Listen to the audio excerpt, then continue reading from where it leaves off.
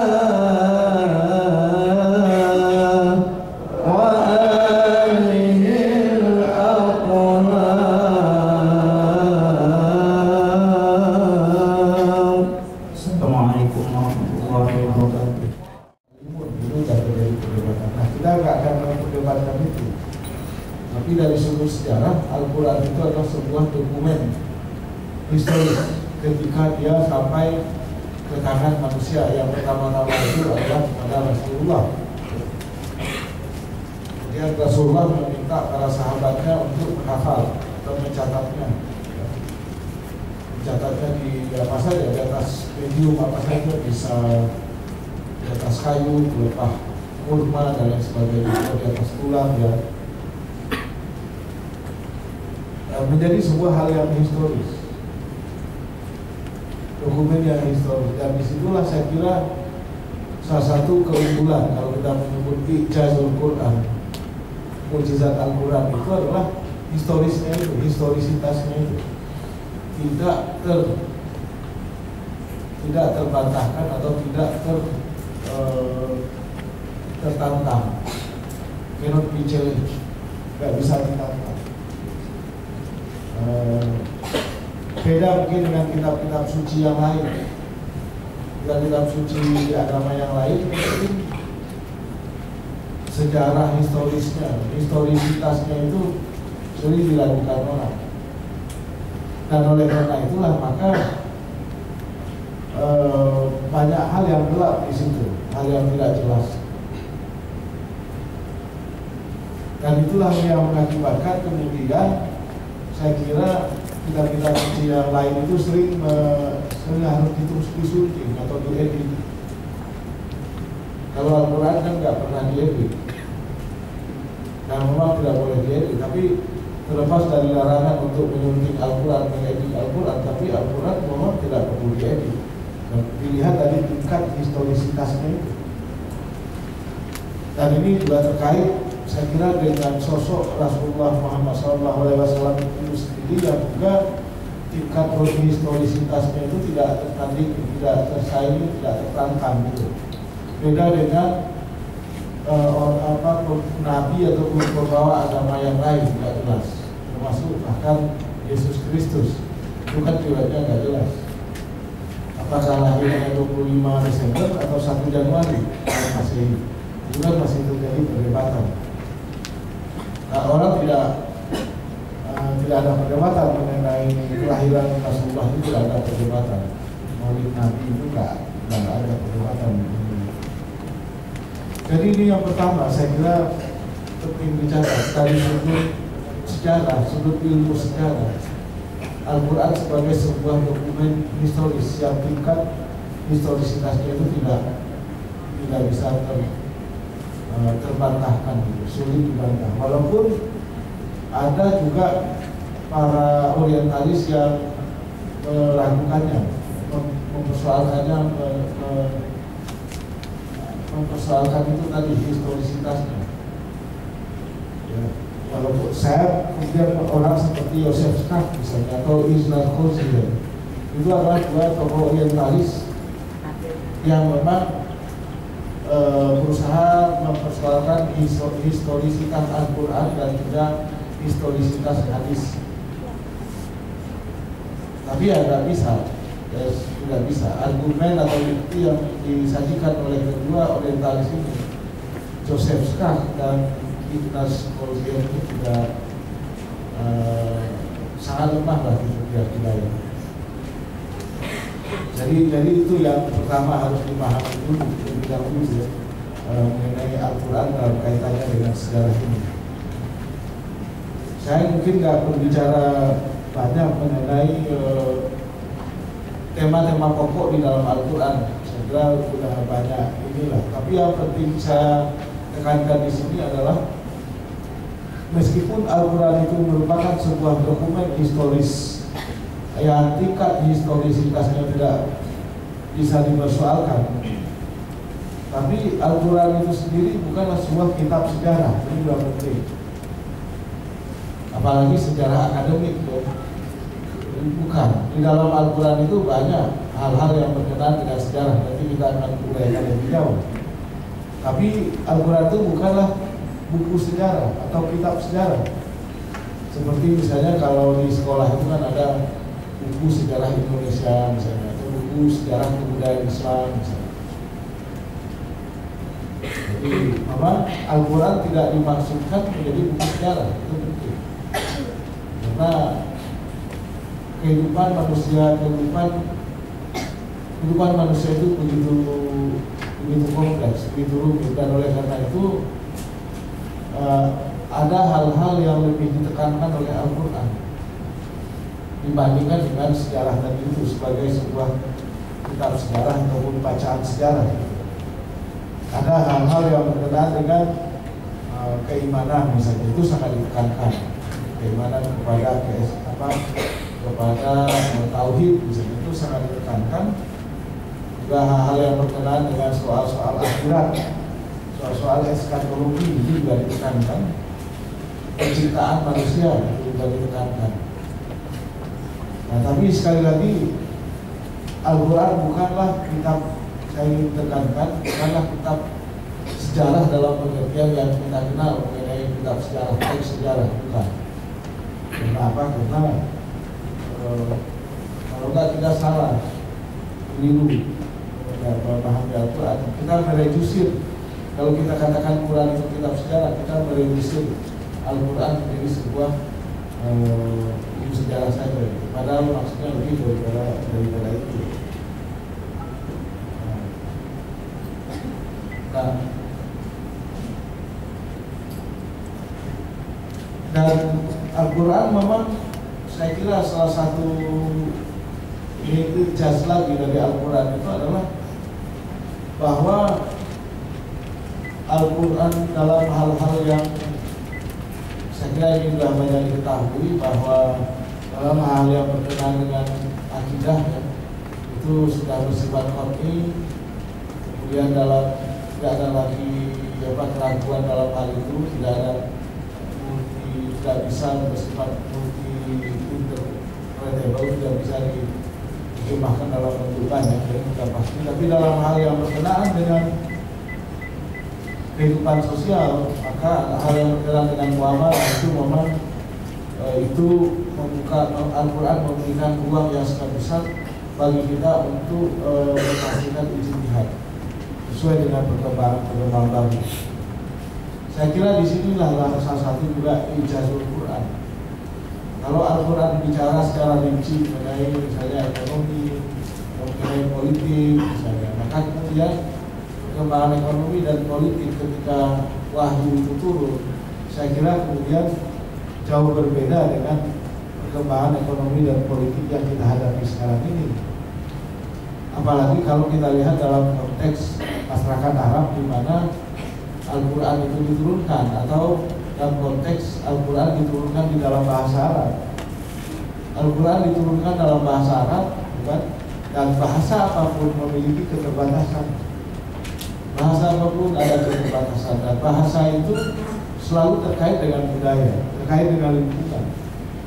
Jadi sesungguhnya ketika Allah ingin berbicara, ingin menyampaikan pesan-pesannya, maka ketika disampaikan ke dalam bahasa manusia, maka kemudian eh, bias bias eh, yang ada dalam budaya itu masuk juga.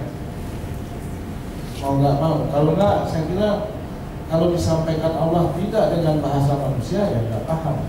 Kita nggak paham. Nah kemudian dipilihlah bahasa Arab. Tapi kemudian bahasa Arab juga memiliki keterbatasan. Contoh yang sering saya kutip adalah misalnya soal zakat. Soal zakat. Atau soal misalnya ya zakat lah di dalam Al-Quran itu kan tidak ada eh, padi itu tidak disebutkan sebagai sesuatu hal yang dizakatkan yang diminta disangkakan itu adalah gandum kan ya? Gandum. Karena memang budayanya di situ budaya gandum. Ini bukan budaya beras. Bahkan bahasa Arab pun punya keterbatasan dalam istilah mengenai yang terkait dengan padi dan beras. Termasuk juga bahasa Inggris.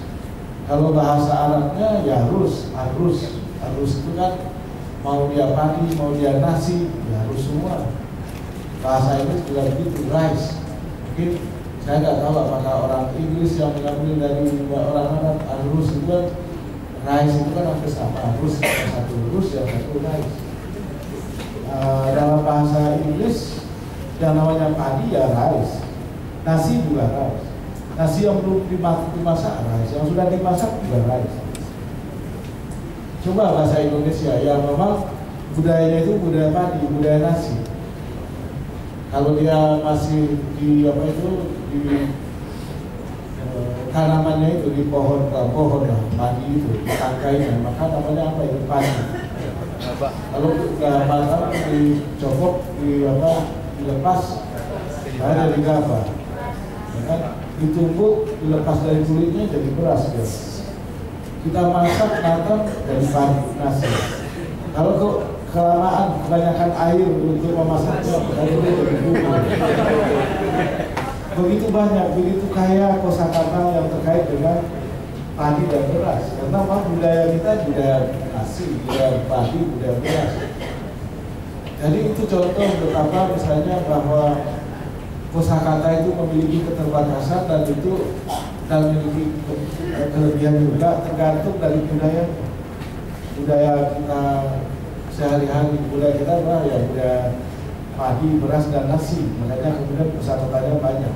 Kalau di Inggris dan di Arab atau Arab lah katakan begitu ya kosakatanya ya itu aja argus itu. Mungkin kalau perlu e, dijelaskan mungkin ditambah kata sifat.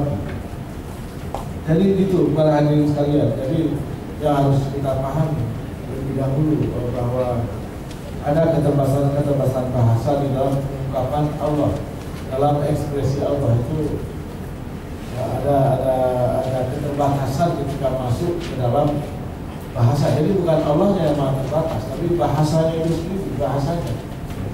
Jadi dalam supaya nggak salah paham, bukan Allahnya yang terbatas, tapi bahasanya yang terbatas.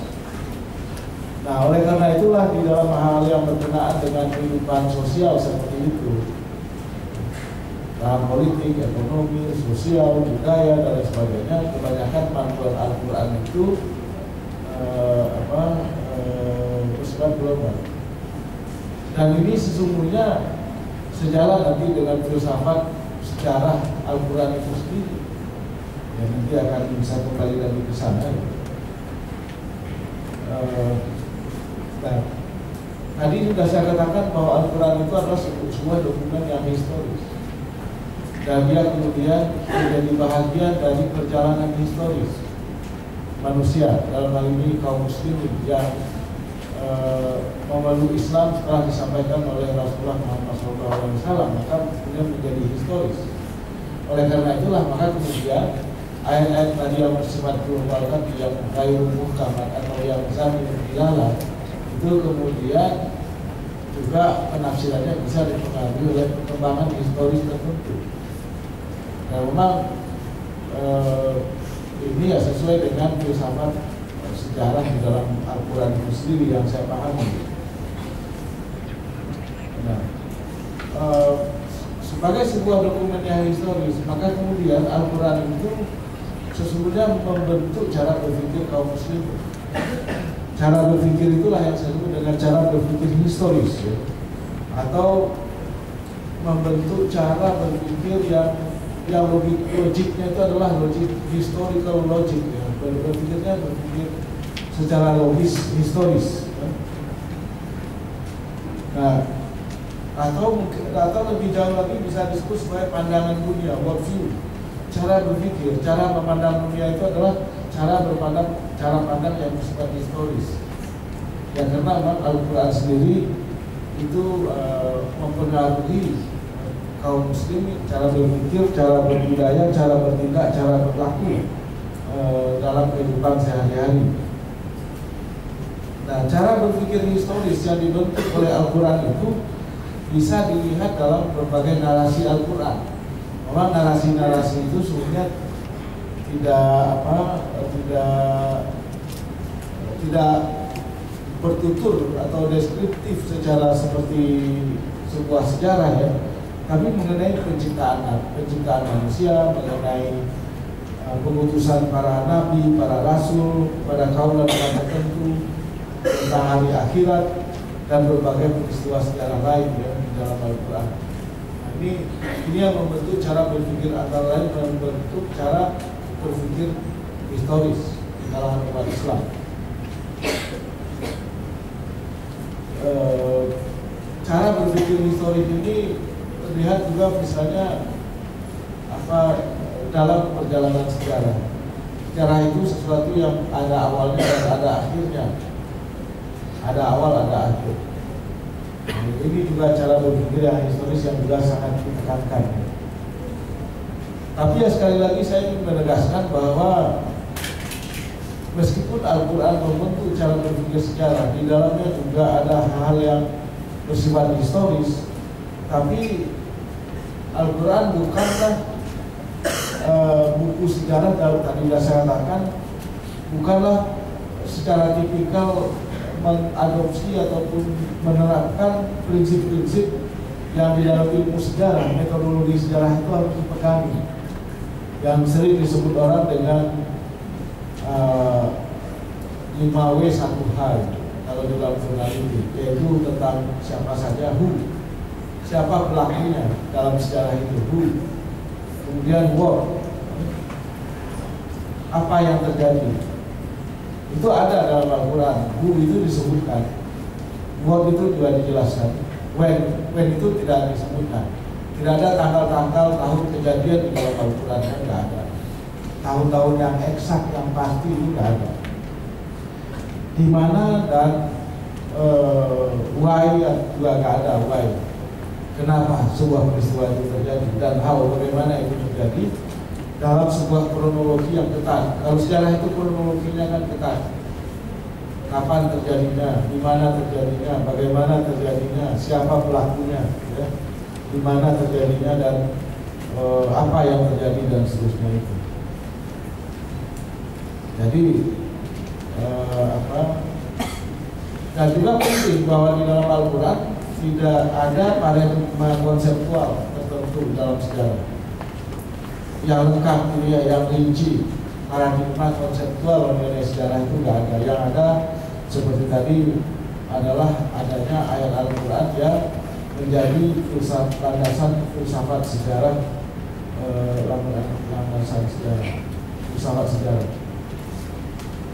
Nah, meskipun tidak rinci, jelas Al-Quran merupakan sumber yang sangat penting bagi kaum muslimin tentang paradigma dan ide dasar tentang sejarah dan sekaligus mengandung banyak contoh tentang peristiwa-peristiwa sejarah di masa lalu. Masa lalu.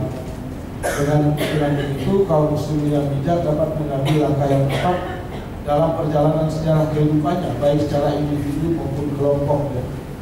Itu, itu penting sekali.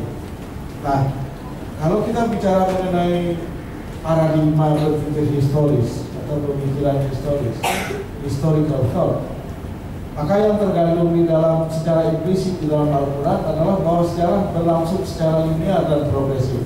Yang tadi saya bilang ada awal, ada akhir. Jadi di dalam Islam itu eh, paradigma sejarahnya itu berbeda dalam Al-Quran, berbeda dengan misalnya pandangan dalam agama Hindu. Dalam agama Hindu, kehidupan itu bersifat sirkular, melingkar. Maya, dunia ini adalah maya. Dan sirkular ada apa itu e, reinkarnasi misalnya. Kelahiran kembali. Dan perjalanan sejarah itu seorangnya tidak ada ujung itu tidak dalam Islam tidak ada dalam Al-Quran apa yang terjadi di masa silam tidak akan terulang kembali. Jadi kejadian kita bicara seperti ini ada Pak Direktur ada Pak Kamrodi itu tidak pernah terjadi lagi di masa yang akan datang kalaupun terjadi mungkin berbeda. Saya kira pasti berbeda, bukan mungkin. Pasti berbeda. Mungkin pakaian saya beda, cara ngomongnya juga beda, gitu. Uh, yang jelas usianya juga jelas pasti beda, gitu kan. Tambah tua, gitu kan. Jadi tidak tidak tidak apa, tidak akan pernah kembali secara persis dari peristiwa-peristiwa di masa silam. Oleh karena itulah peristiwa-peristiwa sejarah itu harus kita ambil hikmahnya. Itu yang disebut dengan sejarah sebagai moral sejarah sebagai pelajaran moral. Atau dalam uh, yang sering disebut orang tamsil. Sejarah itu mengandung dalam Al-Quran mengandung tamsil ibarat atau ibrah pelajaran moral. Ya. Jadi jangan mengharap ada pengulangan wah kalau dilihat dari sebelum itu Islam itu luar biasa hebat. Gak ada, saya nggak melihat agama lain eh, apa eh, memiliki seperti itu kesadaran historis yang sangat tinggi. Jadi oleh karena itu, karena dalam dalam Islam itu sejarah itu bersifat linear, jalan terus dia. Jadi kalau misalnya ini juga di halaman 4 itu yang paling penting itu kan surat al-asri al-asri wal asri al insan al muslim itu itu Allah itu bersumpah dengan masa dengan waktu. Dan semua orang itu mengalami kerugian. Kecuali kalau dia beriman. Beriman aja nggak cukup. Dan juga beramal saleh. Beramal saleh juga tidak cukup. Harus saling berpesan dengan kebenaran dan saling berpesan dengan kesabaran gitu kan? Jadi sekali lagi di dalam Al-Quran sejarah itu bersifat linear. Tidak pernah terulang kesadaran waktu itu sangat penting. Karena apa? Sejarah itu adalah waktu. Jadi kalau misalnya apa yang misalnya kita buang-buang waktu misalnya melewatkan waktu begitu saja maka sebenarnya kita jelas kerugian. Karena mengalami kerugian? Karena waktu yang lewat itu tidak pernah bisa tergantikan. Tidak pernah. Menyia-nyiakan waktu. Tidak akan pernah bisa tergantikan. Memang misalnya apa ya eh, waktu misalnya sholat ya. sholat kalau sudah lewat saya kira nggak bisa dikodok sholat itu pada dasarnya ya, ya kan Bu ya sholat nggak bisa dikodok walaupun di kalangan sebagian orang Jawa sholat itu bisa dikodok ya. dan saya juga sekali-kali mempraktekkan sholatnya dikodok di kodok di kayak puasa gitu ya lewat ya kada aja. Kenapa dikodok karena kalau saya misalnya seminar atau konferensi di Arab di dunia Arab biasanya nggak ada isoma isoma itu istirahat istirahat sholat makan. Jadi zuhur lewat asar lewat maghrib lewat nanti ketemunya udah bisa. Udah jam 10 jam 11 lalu ada waktu sholat baru waktu sholat jadi dikodok karena tempat-tempat seminar dan konferensi di dunia Arab biasanya nggak ada sholat tidak ada ini pengalaman saya jadi bersyukurlah di Indonesia di mana aja ada musola. Jadi kalau ada ada lihat foto di CNN itu orang sholat pinggir jalan, kenapa nggak ada musolanya? Sebenarnya nggak ada itu bukan eksotik, bukan apa-apa. Itu memang nggak ada musola. Betul. Jadi saya suka mengkodok. Saya saya ber, berhusnuzan kepada Allah. Husnuzan kepada Allah itu adalah bahwa Allah paham bahwa saya melakukan pada ini bukan apa-apa. Karena bukan saya mau sengaja meninggalkan sholat. Nggak ada tempat sholatnya. Ada orang yang sholat di toilet jadi di masjid eh, di apa di, di sebuah konferensi di perpustakaan Iskandaria. Jadi itu perpustakaan yang tertua di dunia didirikan oleh Iskandar Zulkarnain atau Alexander the Great di, di Iskandaria di Alexandria di Mesir. Gedungnya megah tapi tidak sepotong pun ada musola.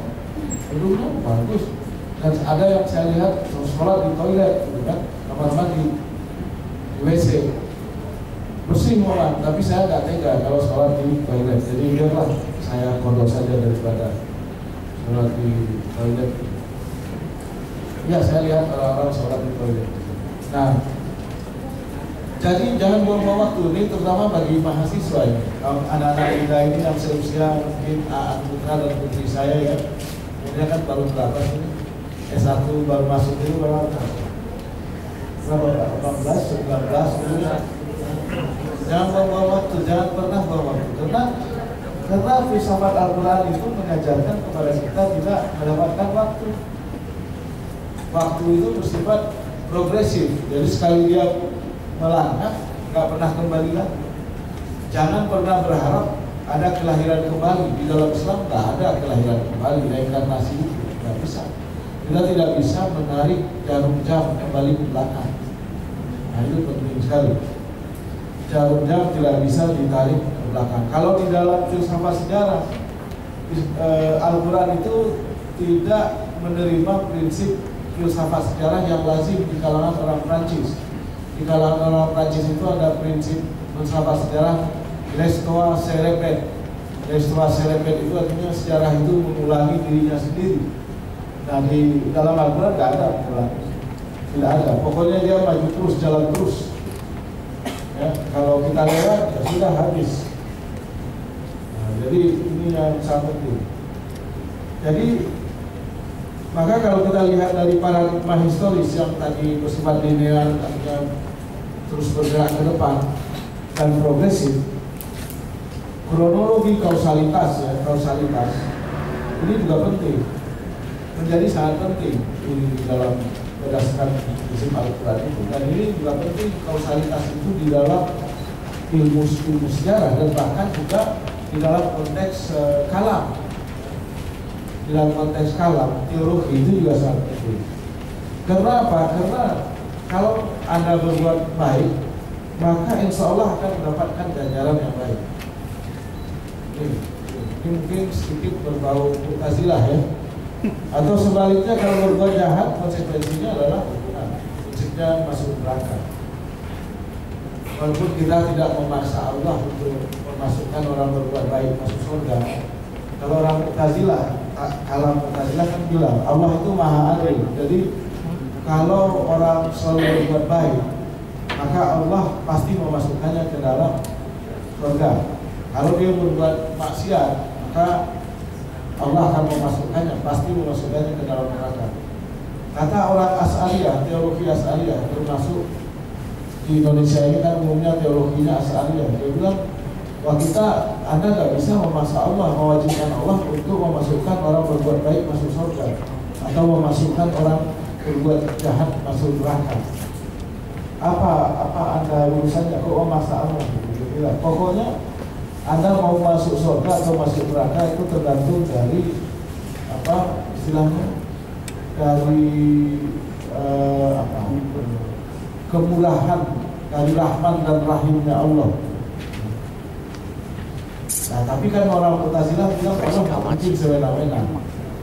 Sewena-wena artinya kalau orang berbuat baik terus dia masukkan ke neraka, itu berarti kata orang Mu'tazilah itu sewena-wena, nggak mungkin Allah sewena-wena kira-kira begitu. Nah, tapi terlepas dari itu, memang uh, Al-Quran itu memberikan kebebasan kepada kita, kepada manusia. Bebas dalam perjalanan sejarahnya, apakah mau menjadi mukmin atau muslim, menjadi beriman atau ikan, kufur, atau kufur. Karena apa? Karena masing-masing konsekuensi dari pilihan itu sudah ada.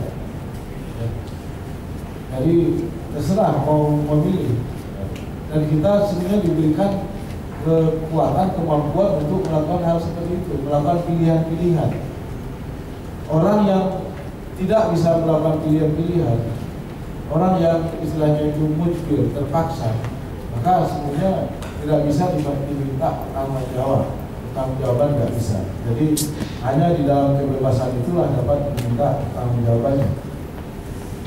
Oleh karena itu dalam konteks perbuatan-perbuatan, kejadian-kejadian dan peristiwa-peristiwa yang dilakukan manusia,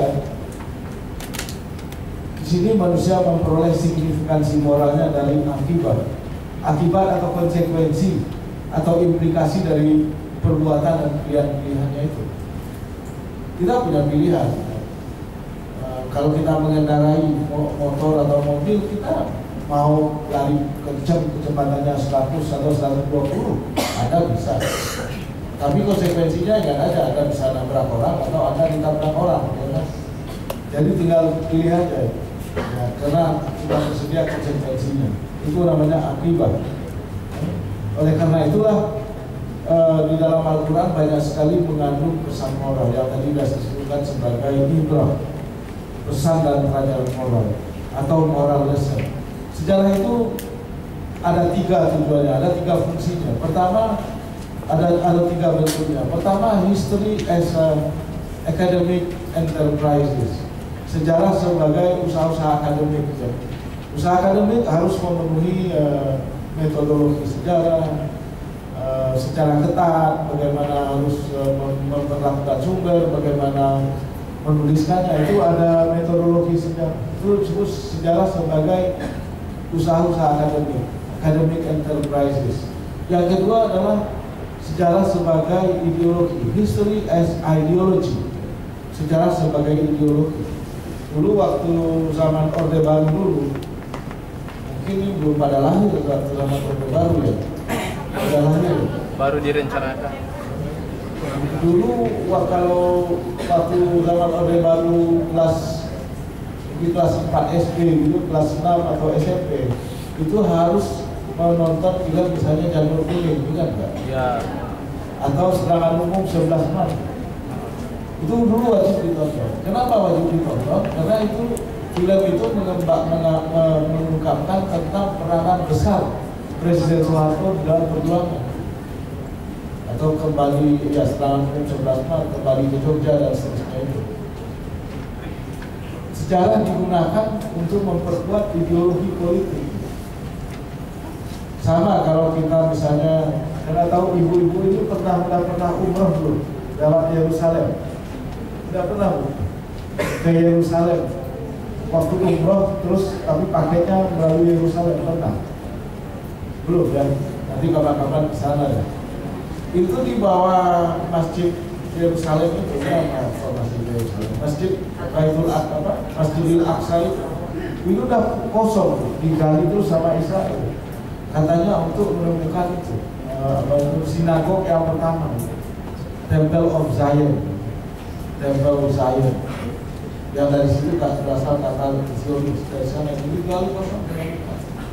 Karena apa? karena ada kepentingan ideologis yang itu bahwa Temple of Zion itu didirikan jauh sebelum adanya Masjid Masjidil Aqsa jadi itu memperkuat klaim-klaim historis bahwa sesungguhnya di atas apa, sebelum Masjidil Aqsa didirikan sudah ada di Temple of Zion.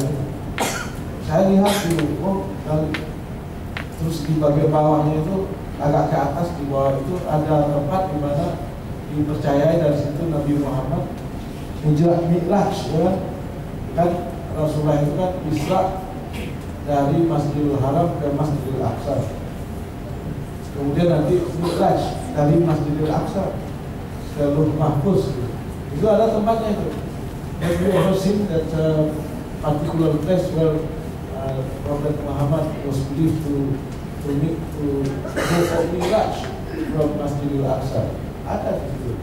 Tapi di bawahnya itu udah bolong-bolong. Kenapa? karena dilakukan penggalian arkeologis oleh Israel dalam rangka membuktikan bahwa eh, apa itu bahwa di bahwa Temple of Zion itu itu jauh lebih dulu didirikan. Itulah tanah yang dijanjikan itulah tanah yang dijanjikan untuk bangsa Israel kira-kira begitu. Nah itu adalah sejarah sebagai ideologi. Jadi sejarah, sejarah dimanipulasi atau use and abuse of history. Jadi sejarah itu di, digunakan dan disalahgunakan untuk kepentingan sejarah untuk kepentingan sejarah. Saya kebetulan tadi malam menulis sebuah sinopsis mengenai aku di Ponegoro itu lagi ada eksebisi di Ponegoro nanti minggu depan. Uh, saya melihat Pangeran Diponegoro itu adalah contoh yang paling uh, contoh yang paling sempurna dari penyalahgunaan sejarah oleh pemerintah Belanda. Untuk kepentingan politik, politik Belanda. Selalu dikatakan Pangeran Diponegoro itu kan mem- memberontak ya, istilahnya memberontak melawan Belanda 1825 1830 itu karena eh, Pangeran Diponegoro itu tersingkir dari eh, eh, dia jadi pangeran di istana Mataram gitu, kira-kira begitu. Tersingkir dari situ maka kemudian dia agak puas dan kemudian dia memberontak nah itu sebetulnya salah karena apa? Karena penelitian sejarah membuktikan bahwa sebenarnya Pangeran Diponegoro itu adalah seseorang eh, seseorang seorang yang sangat kuat keislamannya dan kemudian menjalankan tasawuf dan tarekat dan kemudian memimpin jihad melawan Belanda itu sebetulnya melawan jihad melawan Belanda dan sering juga kita masih keliru. Keliru eh, eh, dalam melihat tasawuf misalnya saya kira di sini juga ada mata kuliah tasawuf yang sama Profesor Asep Usman Ismail tasawuf itu kan dianggap membawa orang Islam itu menjadi pasif, nggak peduli kehidupan dunia. Padahal dalam kenyataannya tasawuf itulah atau tarekat itu yang menggerakkan perlawanan uh, terhadap kolonialisme Eropa tidak hanya di Indonesia tapi juga bisa dilihat di macam-macam wilayah lain di Afrika Utara di daerah Maghrib dan seterusnya. Nah itu yang kedua, uh, history as ideology. Yang ketiga adalah history as a moral lesson. Sejarah sebagai pelajaran moral. Pesan moral Al-Quran ada di situ. Dan ini kita bisa lihat kisah-kisah dalam Al-Quran itu merupakan ibrah ataupun tamsil untuk diambil pelajaran. Sejarah dengan demikian menjadi pelajaran moral. Dan dengan demikian sejarah sekaligus juga sebagai masa depan. History as a future.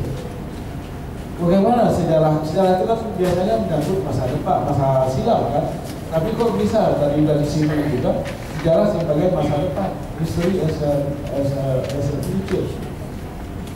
Uh, saya pernah baca buku Ali Sariati itu, saya kira dia juga berbicara mengenai sejarah masa depan itu dalam konteks orang mustaqbil terutama. Tapi dalam konteks pembicaraan kita hari ini, sejarah sebagai masa depan itu adalah kalau kita bisa mengambil pelajaran moral dari Al-Quran, dari peristiwa-peristiwa yang bahkan kita alami sendiri. Kalau kita pernah gagal misalnya dalam ujian, dalam sekolah misalnya atau apa saja kita gagal, maka kemudian di masa depan sejarah kegagalan kita itu menjadi pembantu kita ke masa depan yang lebih baik. Jadi jadi kita nggak nggak gagal lagi di depan. Gitu. Karena apa? Karena kita kemudian ketika kita gagal kita melakukan muhasabah, kita melakukan introspeksi. Gimana? Kenapa kita gagal? Kenapa saya nilainya cuma nggak lulus misalnya dalam satu mata kuliah tertentu? Itulah yang disebut dengan history for the future, sejarah untuk masa depan. Nah oleh karena itu para hadirin sekalian sedikit lagi sebelum kita tanya jawab. Pesan-pesan moral sejarah dalam Al-Quran dapat disimak dari kisah para nabi dan rasul. Mereka adalah representasi tipikal kehidupan moral. Nabi dan rasul itu kan moral figur Jadi sosok-sosok moral merepresentasikan kesempurnaan moral Kesempurnaan etika dan akhlak kira-kira begitu oleh karena itulah kisah-kisah para nabi dan rasul mengandung hampir pesan moral yang sama dan kehidupan mereka menghadirkan pola yang hampir mirip satu sama lain. Kisah-kisah mereka adalah kisah suara kebenaran. Kebenaran yang menyeru kepada kebajikan, mengimbau masyarakat dari ketidakpedulian kepada kebenaran. Karena semata-mata mengikuti hawa nafsu. Ada orang yang akan peduli kepada kebenaran dan kebajikan hanya karena mengikuti hawa nafsu keduniaan kekuasaan dan eh, kekuasaan dan kebendaan. Para nabi dan rasul ini selalu mendapatkan tantangan, hambatan dan kesulitan yang tentu saja merupakan konsekuensi dari misi kenabiannya. Ya kita ini nggak nabi ya, tapi ya kita manusia biasa. Tapi sebagai manusia biasa sekalipun kita juga menghadapi tantangan, kesulitan, ya kan? Tidak mungkin itu hidup uh, tanpa kesulitan kan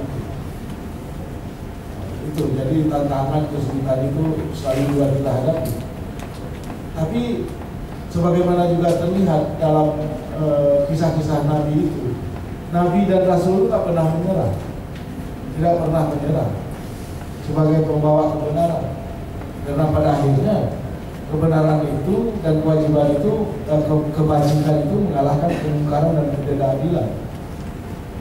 Jadi nah di sini lagi pesan moralnya bagi kita, bagi kita terutama yang muda-muda ini ya mahasiswa yang masih muda-muda. Jadi jangan cepat menyerah kalau ada tantangan, ada kesulitan. Itu penting sekali. Karena kalau kita lihat Al-Quran sebagai uh, pembawa pesan history as moral lesson, lesson pelajaran moral, maka tidak boleh menyerah, harus tetap ber, berusaha. Ini beberapa hal yang saya kira penting sekali untuk kita hadapi, untuk kita pahami dan kita hayati lagi-lagi dalam konteks kita history for the future atau history for masa untuk masa depan. Kita jangan pernah misalnya Nah, ini sejarah itu kalau sejarah ya sejarah itu tidak selalu hal yang baik. Tapi juga banyak yang yang tidak mengembirakan di mana pun. Baik tingkat baik pada level pada tingkat orang per orang maupun masyarakat. Tidak selalu bagus tidak selalu bagus. Ada ada kisah-kisah cerita-cerita riwayat-riwayat yang mungkin kita sendiri juga nggak senang gitu. Nggak mau mengingatnya apa uh, istilahnya sangat kalau bisa itu kita hilangkan saja. Love to forget. Peristiwa-peristiwa terjadi, terjadi yang terjadi tertentu terjadi dalam kehidupan kita itu kita senang kalau bisa kita lupakan saja itu. Walaupun kemudian kita nggak bisa lupa. Jadi uh, oleh karena itu ya jangan pernah menyerah. Dan kemudian kalau jangan pernah jatuh dua kali di lubang yang sama. Kalau kita kan ada orang yang bilang kalau ada orang dua kali jatuh di lubang yang sama, maka dia lebih dulu dari keledai. Ada yang bilang begitu. Itu lebih dulu dari keledai. Masa di lubang yang sama jatuh dua kali? Jatuh sekali aja udah cukup. Dan ke depannya tidak lagi jatuh. Di dalam, apalagi di dalam lubang yang sama. Jadi saya kira inilah beberapa hal yang bisa kita diskusikan lebih lanjut. Terima kasih. Assalamualaikum warahmatullahi wabarakatuh.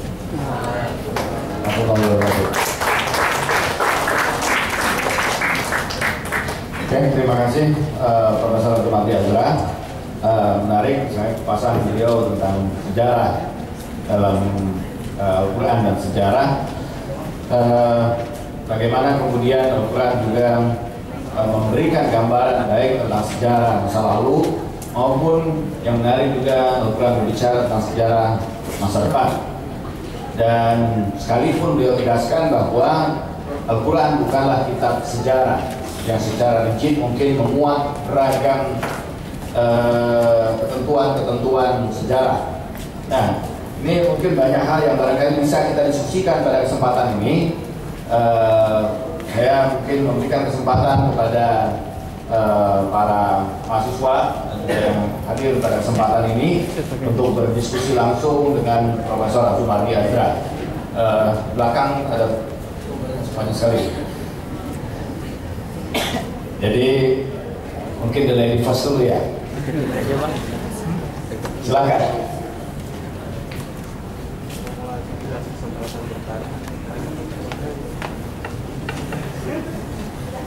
Sebutkan nama dan pertanyaannya ringkas. Perkenalkan nama saya Aki. Jadi tadi kan Profesor mengatakan bahwa sejarah itu tidak akan pernah terulang. Mungkin yang tidak akan pernah terulang itu adalah kejadiannya. Tetapi maknanya itu bisa terulang. Karena itu kita selalu bisa mengambil makna untuk diterapkan pada kejadian tersebut.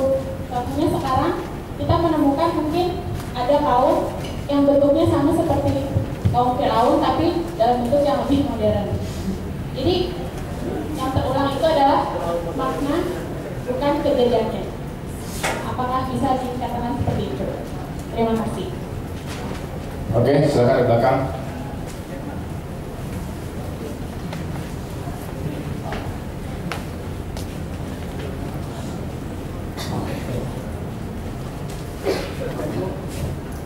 Assalamualaikum.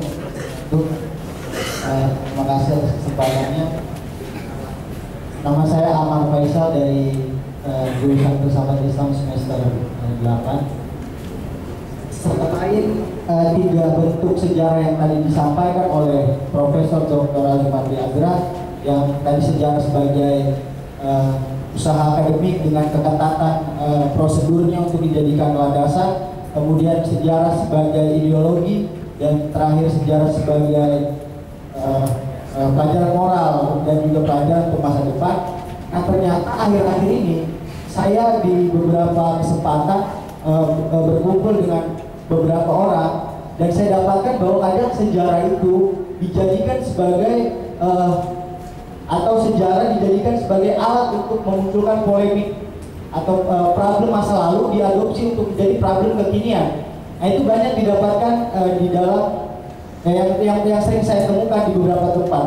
Nah, apakah ini bisa dimasukkan ke dalam bentuk sejarah yang keempat tadi bahwa sejarah sebagai uh, sebagai polemik uh, adopsi polemik untuk masa depan. Nah, ketika hal-hal seperti ini terjadi, saya ingin uh, meminta bagaimana pandangan Profesor untuk menjawab tentang uh, fenomena seperti ini yang, yang sering bermunculan di masyarakat, khususnya umat Muslim. Uh, terima kasih. Oke, okay, silakan belakang tadi.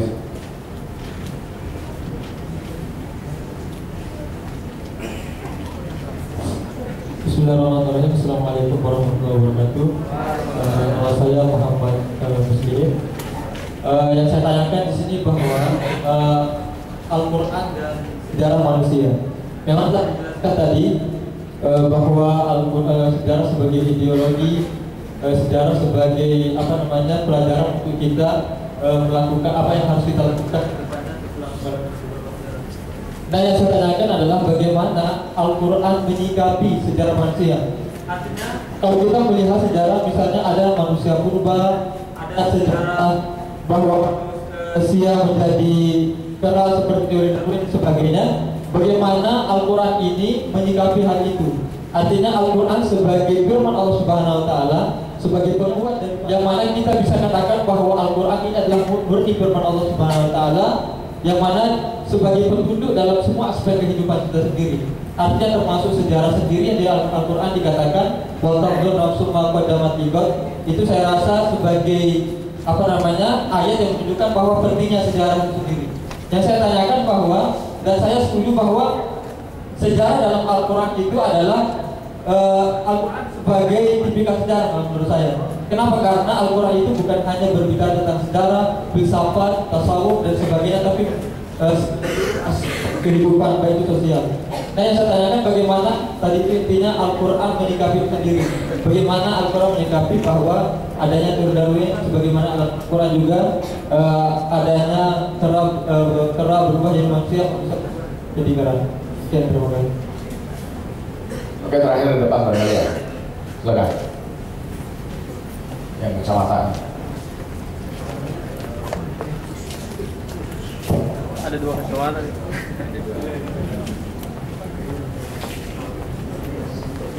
Assalamualaikum warahmatullahi wabarakatuh. Nama saya Muhammad Sekian Sauri. Yang saya ingin tanyakan hanya ada dua hal. Pertama, tadi bapak menyebutkan bahwa uh, uh, kaum kaum Islam uh, umat Islam itu ketika Quran yang turun membuat pan eh. langsung aja dah pak di depan membuat uh, cara pandang masyarakat itu sebagai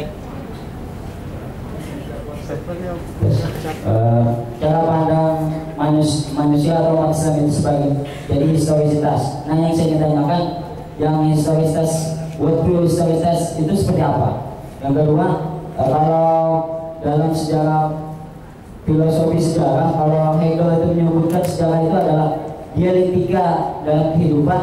Nah, apakah sama seperti yang Bapak sebutkan. Begitu dengan Assalamualaikum warahmatullahi Yang saya persilakan Profesor Mati untuk menanggapi empat pertanyaan tadi. Ya, terima kasih. Yang pertama dari tadi apa Mbak Iin ya Iin apa? Ati. Ati. Ya kedengaran soalnya. Oke lah. Uh, ya pada prinsipnya kalau di dalam Al-Quran ya, atau dalam Islam lah katakan begitu jalan itu memang nggak pernah berulang dalam bentuk yang sama peristiwa yang sama ini tidak pernah tapi bisa saja tadi saya kira bagus bisa saja makna atau substansinya sama misalnya ke ada ada orang misalnya di masa lalu kufur, ya sekarang juga ada orang kufur. Seolah-olah kufur itu tidak pernah berhenti berulang-ulang terus. Gitu. Pelakunya mungkin berbeda, tapi uh, substansinya, maknanya, esensinya bisa sama. Jadi kalau dalam pengertian seperti itu ya boleh-boleh saja, bisa-bisa saja terjadi apa tadi pengulangan, pengulangan kekufuran yang terus berlanjut dari waktu ke waktu.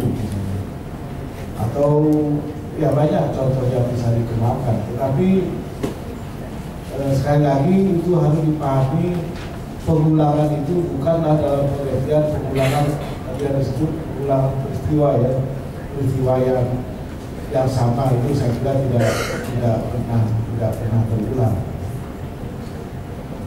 Eh, saya kira itu cukup jelas. Kemudian dari Ahmad Faisal, Eh, sejarah yang kadang-kadang digunakan di polemik ya, dari polemik dan kemudian digunakan untuk mendukung klaim-klaim tertentu ya. Kalau di Indonesia itu misalnya eh, sejarah terkait dengan orang-orang komunis misalnya PKI misalnya kan ada orang yang mengklaim katanya zaman komunis itu jutaan orang komunis ke PKI atau ateis itu dibunuh.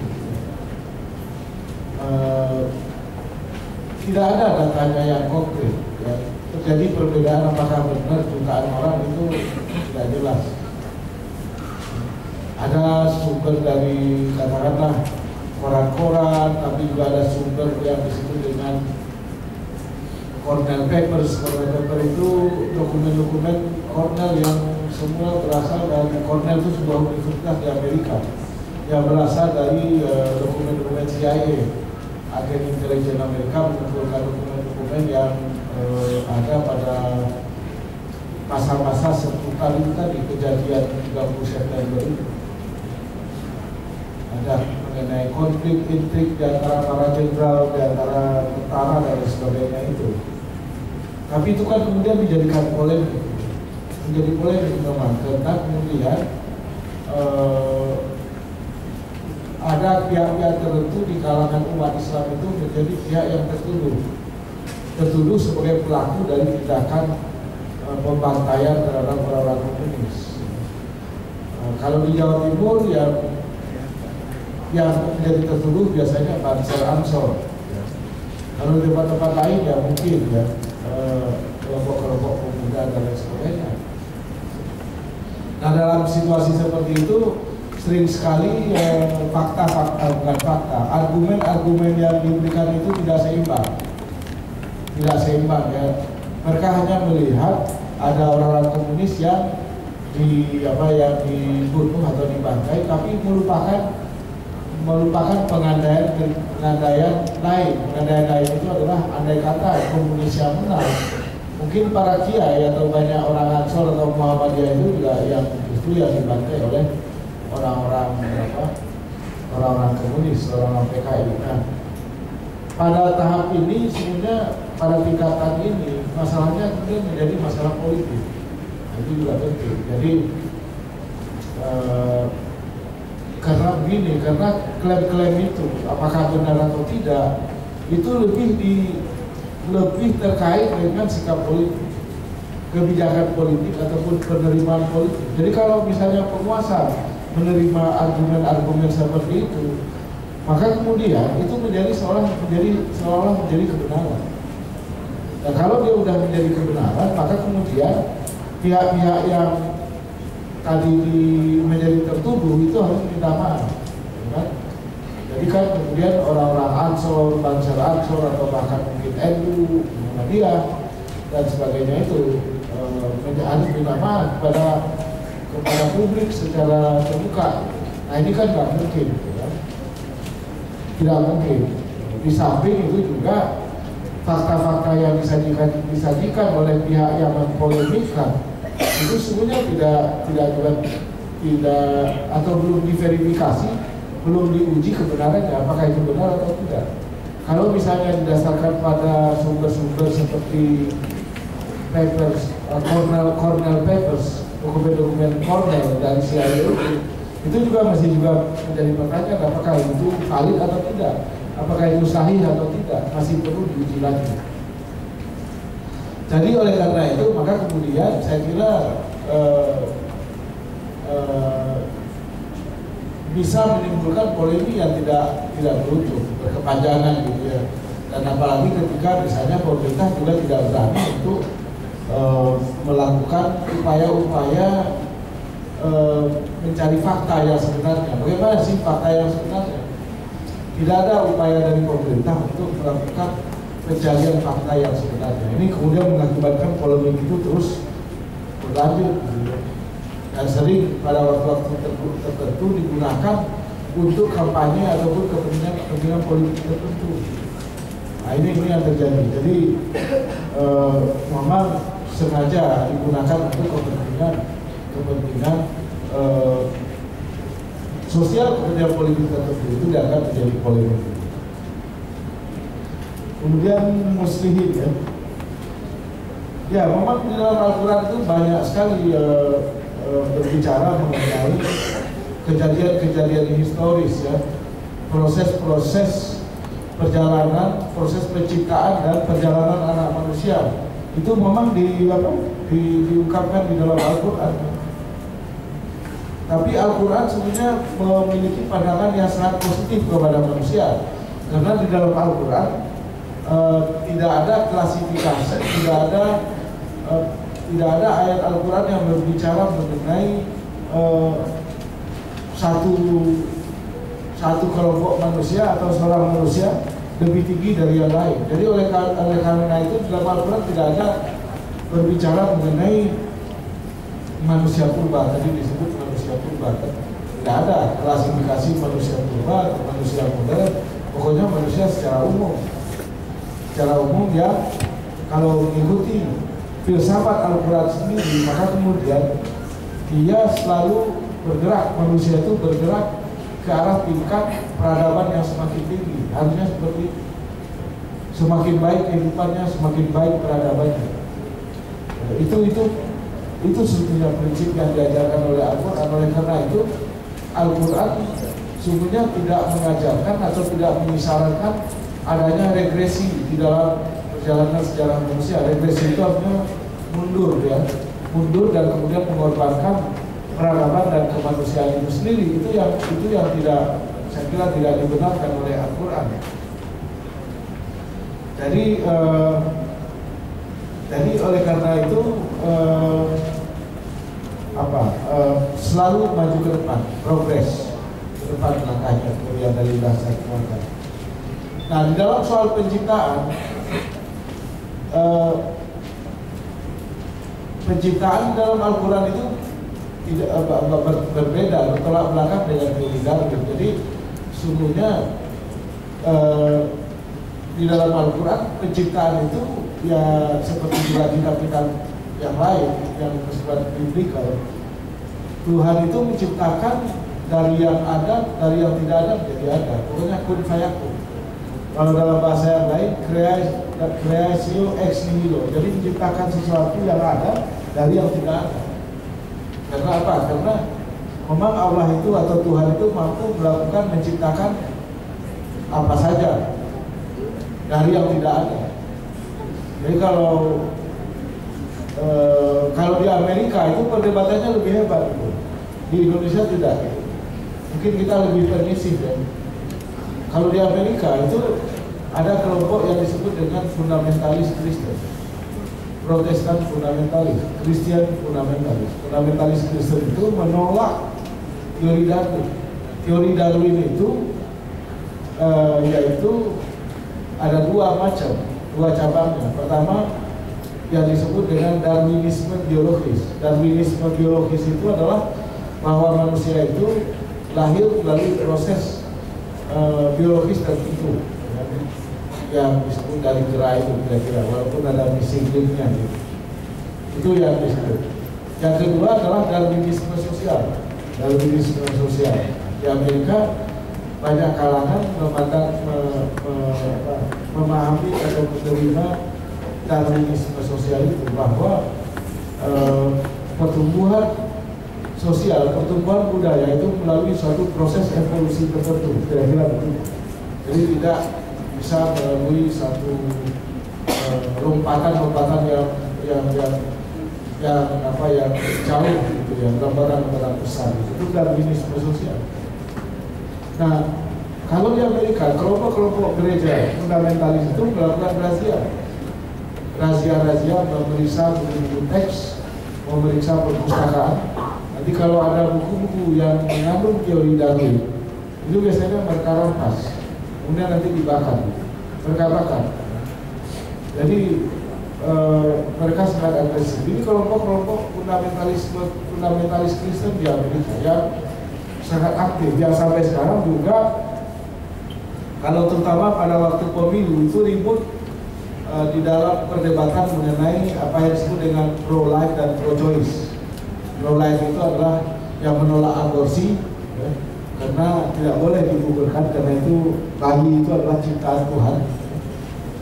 Ada roh Tuhan di dalamnya, jadi mereka menolak itu. Tapi ada yang disebut dengan pro choice. Pro choice itu ada boleh membunuh atau mengaborsi bayi-bayi dalam kandungan. Jadi jadi itu uh, di Amerika seperti itu. Tapi kalau di Indonesia kayaknya kita permisif. Saya belum pernah dengar ada razia misalnya ke perpustakaan atau memeriksa buku-buku yang ada teori Darwinnya yang tidak cocok dengan Al-Quran. Kalau Al-Quran tadi kan kun fayakun, ya, sudah jelas. Pokoknya diciptakan meskipun juga melalui satu proses proses biologi tertentu ya, antara suami istri gitu ya yang berikan oleh perkawinan kira-kira begitu. Tapi pada dasarnya ya kun bahwa Allah itu menciptakan segala sesuatu itu dari yang tidak ada jadi ada. Termasuk juga di dalam penciptaan manusia. Saya kira dalam hal ini penciptaan manusia pertama, manusia awal yaitu Adam, Nabi Adam gitu ya. Kalau yang sekarang mungkin kan kita udah ada, udah ada bahannya ini, ya dari suami, dari istri ya, sperma dan ovum, gitu, itu udah ada bahannya. Jadi tidak mungkin tidak lagi fayakun. Karena itu harus melalui proses perkawinan, proses-proses tertentu sehingga kemudian sang istri bisa hamil. Tapi ketika Nabi Adam kan belum ada manusia. Adam adalah manusia pertama. Kira-kira begitu. Itulah kun fayakun. Tapi saya kira dalam hal-hal yang lain, saya kira kun fayakun itu masih bisa berlaku.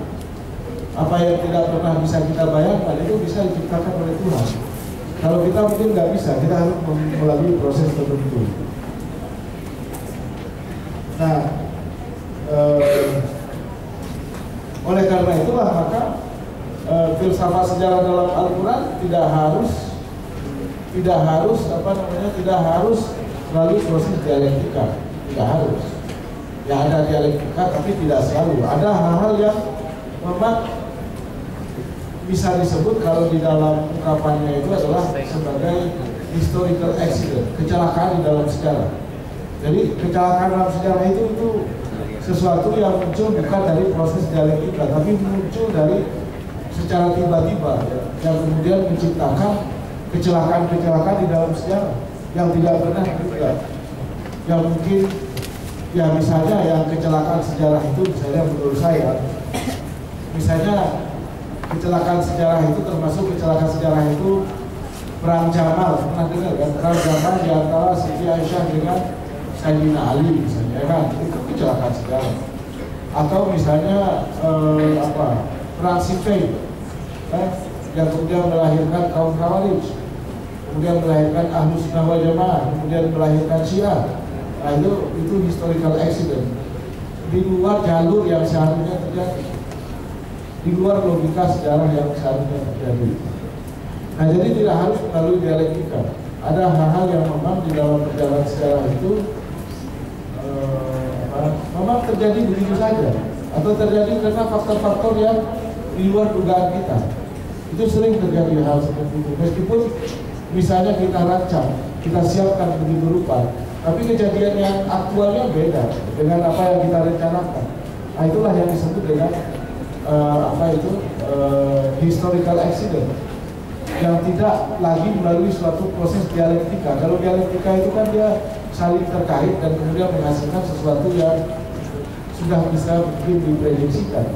Tapi ini tidak bisa diprediksikan. Jadi oleh karena itulah maka uh, dalam hal tertentu uh, historical accident itu ada. Saya kira dalam konteks kita sebagai orang Islam historical accident itu pun juga harusnya menjadi pelajaran, menjadi moral lesson, menjadi moral lesson, menjadi pelajaran moral supaya tidak kita ulangi. Saya melihat di dalam sejarah kaum muslimin itu ada hal-hal yang sebetulnya menjadi eh, menjadi historical accident yang kemudian buntutnya itu panjang, bayang-bayangnya itu panjang dan susah menghilangkannya. Nah, Nah oleh karena itulah eh, sekali lagi kita harus belajar, kita harus mencermati kejadian-kejadian apa saja yang sebenarnya menjadi historical accident di kalangan umat manusia, di kalangan umat Islam sehingga kemudian menimbulkan beban-beban sejarah historical burden jadi beban-beban sejarah yang berat. Sesungguhnya kalau menyangkut umat Islam di Indonesia umat Islam Indonesia ini beban sejarahnya relatif lebih ringan. Oleh karena itulah kita bisa mengatakan bagi umat Islam di Indonesia itu sejarah itu adalah masa depan. Tapi bagi misalnya di Timur Tengah apa ikhwan-ikhwan kita di Timur Tengah mereka dibebani digayuti oleh sejarah masa lalu. Sejarah masa lalu itu berbaut di antara sejarah kejayaan. Misalnya di Baghdad atau sejarah kejayaan di Cordoba dengan uh, kecelakaan-kecelakaan yang, yang terjadi. Konflik-konflik yang terjadi hal-hal yang di luar dugaan yang kemudian terjadi sehingga menjadi beban untuk melangkah secara mantap menempuh masa depan yang lebih baik. Termasuk hal-hal yang kita lihatlah apa yang terjadi misalnya di Yaman, apa yang terjadi di Syria. Hal-hal yang tidak perlu sebetulnya tapi kemudian karena kepentingan-kepentingan politik maka kemudian itu berubah menjadi satu ironi satu ironi yang sangat pahit sangat pahit karena kemudian yang terjadi itu adalah terjadi itu adalah kalau menurut saya sih apa itu? Proses self infliction self infliction itu melukai diri kita sendiri. Saya itu sedih lah kalau sudah menjelang akhir pekan di Timur Tengah ya. Seperti kemarin itu kan akhir pekan Kamis. Saya baca itu di lalu teks masjid Syiah diserang dibom misalnya. Tiga orang tewas bawa korban ke masjid. Apa itu? Saya nggak heran saya. Benar-benar heran. Tidak ada lagi tempat yang sakral gitu masjid aja dibom. Tiap pekan tiap akhir pekan. Akhir pekan itu kan hari Kamis Jumat dan Sabtu. Nah di kita kan akhir pekannya mulai dari mulai dari hari ini sore ini sampai sampai nanti. Jadi inilah yang eh, saya kira kita sebagian kaum muslimin kita ini muslimin ini inilah mau belajar dari sejarah. Selalu aja mengulangi kesalahan yang sama. Kayaknya nggak puas-puas gitu lah kalau nggak berbunuh-bunuhan nggak puas. Benar yang namanya ISIS. Yang dan itu kemudian dikobarkan dengan semangat sektarianisme ya kan? Saya selalu berusaha membantah. Karena apa yang terjadi? Misalnya di Syria. Itu kan sebetulnya pertama-tamanya soal politik soal demokrasi ya kan? tapi kemudian ber, di, dikipasin kipas-kipasin menjadi perang antara Sunni sama Syiah gitu kan? Ini kita Sunni harus menumbangkan apa itu Basar Asad yang Syiah gitu kan. Tapi yang begini berulang terus berabad-abad kapan membangun kapan mencerdaskan bangsa bahkan masjid-masjid yang historis seperti Masjid Damaskus yang dibikin oleh Sayyidina Umar itu udah gak ada lagi. Hancur. Itu itu yang kita sesalkan. Kita tidak pernah mau belajar dari sejarah. Karena itu tadi eh, di masa silam kekerasan dan perang sesama muslim tidak pernah menyelesaikan masalah itu hanya menghancurkan. Nah kita ulangi lagi zaman sekarang. Yang dapat manfaat siapa? Ya orang lain. Di Timur Tengah siapa yang paling banyak dapat manfaat? Ya Israel bukan ada yang lain. Pasti itu. Dia tidak ingin ada Syria yang kuat tidak ingin ada Mesir yang kuat atau dan seterusnya dan seterusnya. Jadi saya kira tugas kita ke depan itu adalah itu tadi kembali memegangi prinsip sejarah sebagai pelajaran moral. Apa yang sudah jelek pernah terjadi di masa lalu jangan kita ulangi lagi. Kita akan lebih dulu dari keledai kalau masih melakukan kesalahan yang sama. Kesalahan yang sama itu apa ya? Ribut berkelahi hanya karena beda paham. Hanya beda yang satu sunni, yang satu syiah. Untuk apa berantem? Untuk apa berkelahi? Apa nggak puas dengan yang sudah pernah terjadi di masa lalu? Saya kira yang sudah terjadi di masa lalu sudah cukup lah, jangan diulangi lagi sekarang. Apalagi dibikin lagi di Indonesia, nah itu lebih nggak patut lagi. Jadi saya kira itu pesan moral dari Al-Quran. Jangan mengulangi kesalahan yang sama. Karena apa? Karena kalau kita berkelahi, apa pun beda mazhab itu itu sama sekali tidak mencelakai diri sendiri, mencelakai mencelakai Islam, mencelakai umat secara keseluruhan. Jadi ini pesan seperti inilah yang harus kita inikan terus menerus, kita sosialisasikan, kita serukan terus menerus lah. Jangan kita ber, berkelahi, berburu-buru hanya kita beda beda paham. Yang masih sama-sama percaya pada Allah, percaya pada Nabi Muhammad, percaya pada Al-Quran, sholatnya juga sama, ya kan? Kadang-kadang pandangan itu lebih di, di ini pak Pak apa Pak di pak di apa disebabkan oleh prasangka-prasangka. Makanya kalau orang Syiah sholatnya pakai pakai tanah lempung gitu ya. Saya sholat dengan tugas iran yang sudah pulang, maka pulang belum Enggak juga, saya tanya bagaimana tanah lempungnya enggak. Tapi kan banyak orang sunni bilang lah pakai tanah lempung. Jadi dimulainya dengan prasangka-prasangka. Nah ini tugas kita ke depan. Bagaimana hal-hal seperti itu tidak membuat kita berkelahi. Sudahlah. Kenapa sih yang dulu itu kita lakukan? Saya kira begitu Pak Salim. Ya, terima kasih. Kita berikan hapus dulu. Saya dan banyak hal yang kita dapat ya pada kesempatan ini sekalipun seperti yang tadi disampaikan oleh Profesor dan mungkin saya ini Sari memang tidak kita memang tidak melakukan proses penggalian yang dalam dan membutuhkan waktu tapi paling tidak ini mungkin mencerahkan pemikiran kita bahwa bagaimana kemudian Al-Quran eh, mengungkapkan nilai-nilai sejarah itu dalam tujuan untuk memberikan pelajaran moral. Eh, sebentar ya. Eh, untuk memberikan pelajaran moral yang luar biasa agar eh, hal-hal yang pernah terjadi atau disebutkan oleh uh, Prof. Zubali tadi sebagai sebuah kecelakaan, accident, uh, historical accident. Jadi kecelakaan sejarah itu tidak terulang. Dan kenyataannya bahwa belakangan ini kita melihat uh, upaya untuk mengulangi kecelakaan-kecelakaan sejarah itu uh, dikobarkan kembali, terutama di Timur Tengah dan kemudian dicoba untuk dibawa ke Indonesia. Padahal di Indonesia, sebagaimana tadi disampaikan, sejarah Islam itu dia tidak memiliki beban sejarah, tapi memiliki justru sejarah masa depan. Dan ini yang mungkin uh, membahayakan. Satu lagi mungkin Profesor Zumandi Azra mungkin luput bahwa gerakan-gerakan uh, radikal juga adalah gerakan-gerakan yang kemudian ahistoris. Bukan cuma ini tapi menghilangkan kemudian uh, apa peninggalan-peninggalan bersejarah. Ini menjadi sebuah kecelakaan sejarah juga gitu kan? Jadi sekarang misalnya di Arab Saudi sebagaimana yang kita dengarkan kritik terhadap pemerintah Arab Saudi bangunan-bangunan eh, yang berusia 2000 tahun uh, 1500 1000 tahun sampai dengan 2000 tahun itu 99% sudah habis dari dihilangkan dan itu para peneliti sejarah di Saudi sendiri mengkritik luar biasa bahwa eh, apa upaya penghilangan kemudian sejarah. Dan kita lihat juga misalnya patung Buddha yang ada di Afghanistan yang sudah berseru memiliki sejarah ribuan tahun diledakkan hanya karena itu eh, dulu jadi sembahan orang Buddha gitu kan. Ini gerakan-gerakan anti sejarah ini menjadi luar biasa dan berbeda sekali sebagaimana kita dapatkan di sini semangat Al-Quran tentang sejarah dan menariknya justru kalau kita berkunjung ke negeri-negeri yang non muslim, bagaimana mereka memelihara sejarah itu. Sehingga sejarah menjadi sebuah pelajaran.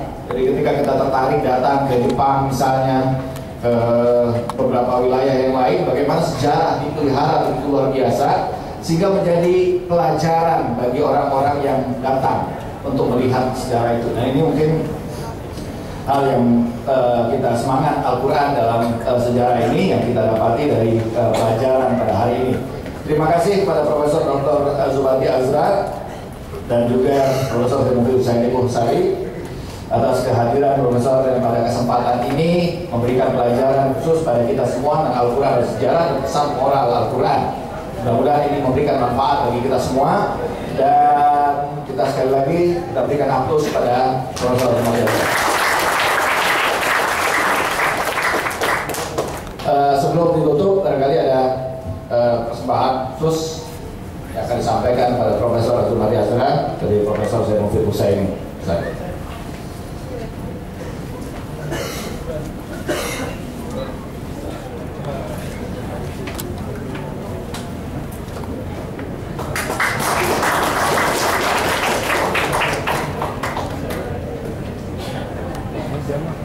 Marilah kita tutup dengan sama-sama melafaz bahwa Al-Quran dalam hal-hal yang saya kira ini sudah banyak diketahui bahwa dalam hal yang berkenaan dengan akidah ya itu sudah bersifat qat'i kemudian dalam tidak ada lagi apa keraguan dalam hal itu tidak ada multi tidak bisa bersifat multi interpretable tidak bisa diterjemahkan dalam bentuk banyak ya sudah pasti. Tapi dalam hal yang berkenaan dengan eh, misalnya ekonomi mengenai politik misalnya maka kemudian perkembangan ekonomi dan politik ketika wahyu itu turun saya kira kemudian jauh berbeda dengan perkembangan ekonomi dan politik yang kita hadapi sekarang ini apalagi kalau kita lihat dalam konteks masyarakat Arab di mana Al-Quran itu diturunkan atau dalam konteks Al-Quran diturunkan di dalam bahasa Arab Al-Quran diturunkan dalam bahasa Arab kan? dan bahasa apa pun memiliki keterbatasan bahasa apa pun ada keterbatasan dan bahasa itu selalu terkait dengan budaya terkait